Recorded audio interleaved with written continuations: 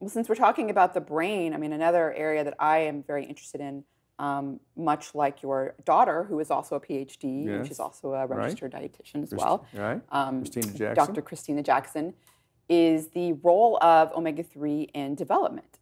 And, um, you know, you guys at Omega Quant are doing some really interesting, getting gathering some interesting data because you are looking at, and maybe you can talk about this, how you're looking at the omega 3 index in pregnant women Mm-hmm. and in lactating women. Yeah, right. Um, I think one of the one of the, the high points in omega three research has been a, a Cochrane report from a couple years ago, reporting that looking at 70 trials in pregnant women given omega three, that the giving omega three reduces risk for premature birth, especially early premature birth before 34 weeks.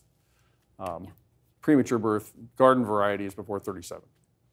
Um, but the effect on, on reducing uh, uh, risk for early premature, which is the mo- most challenging one for the baby and the mother and the NICU and the entire s- financial system.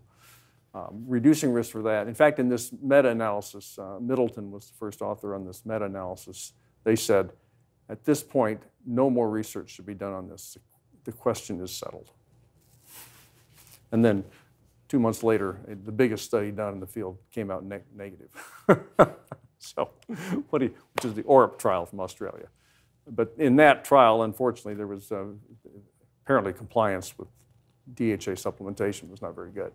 So the change in omega 3 index was not much in that big trial. So they didn't see a benefit, and it could be because women weren't taking it. That's a problem. Um, but we, we do have a, a test we developed at Omega Quant called the um, RBC, Mother's DHA test, RBC DHA test. I can't remember the name of it. Um, I'm going to get in trouble.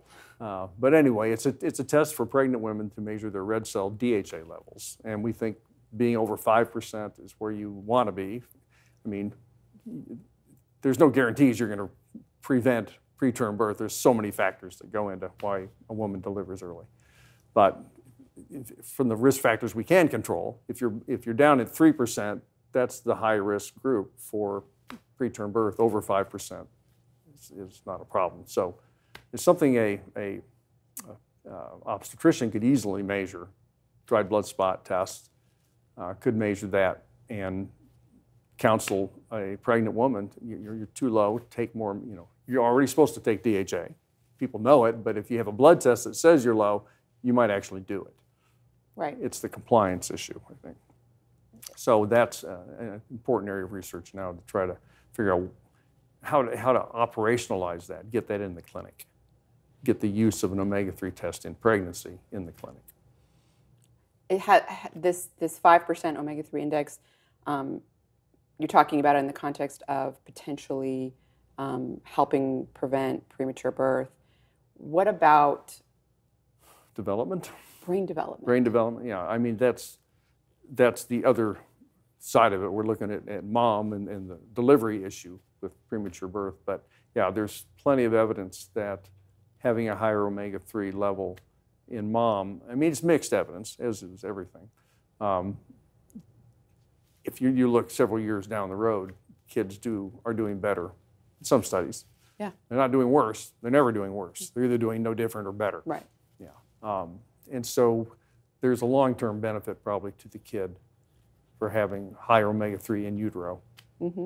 I think there was a recent study that was published um, where it was randomized trial, and when women were given like 200 milligrams of DHA or 1,000. Right. It's kudos. It's a study from, uh, no, Adore was the name of it, from Kansas University, Susan Carlson. They published it, and they, and they found a, a benefit in preterm birth. Um, but they also found benefits and other adverse outcomes, uh, reduced risk for adverse outcomes uh, in the delivery.